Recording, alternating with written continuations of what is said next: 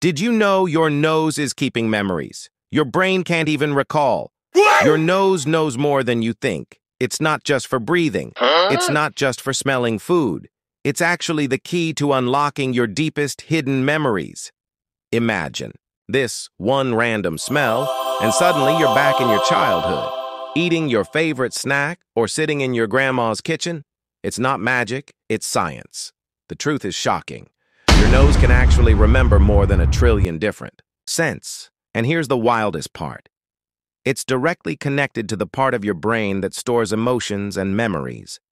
That's why a single fragrance, the perfume of someone you loved, the smell of rain, or your mother's cooking, can teleport you back in time instantly. No machine, no button, just your nose. So next time a random scent hits you, don't ignore it.